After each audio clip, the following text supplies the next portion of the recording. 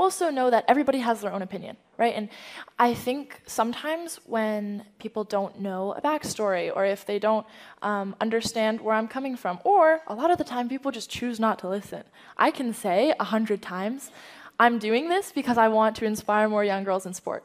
I'm doing this because I want to introduce kids to free skiing, and um, I'm doing this to represent my and my mother's Chinese heritage.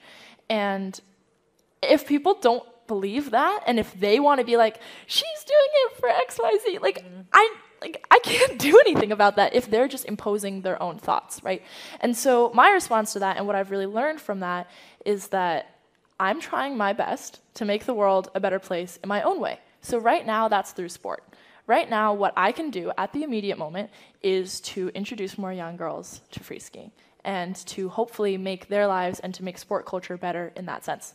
If people don't like that, and if there are people who don't agree with me, like that's totally fine, right? That's the beauty of being able to have that discussion. But they can feel free to make the world better in their own way. Like, if you don't like this way, awesome. Like you guys can go do something you else. do you. You do you. And we can approach it from different situations and the world benefits because of it. Yeah. And, and I think yeah, but also you're you're one you're 18 and two you're in the middle of one misstep, one misstatement with two countries that are having geopolitical tensions.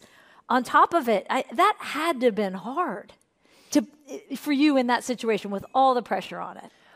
Yeah, I mean, it was. Like you said, I'm 18, right? Like, I haven't even started college yet.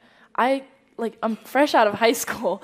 And people are, like, trying to make me this, like, geopolitical figure. Like, I, I don't have the power to, like, change two countries every You kind of do, I'm just trying to Don't undersell yourself, sister. What I mean by that, I think, is I'm just trying to do what I can and a lot of things are out of my control. And I think instead of stressing about that, I just want to focus on on my own message and on my own positivity and um, making myself better and making the world better in my own way.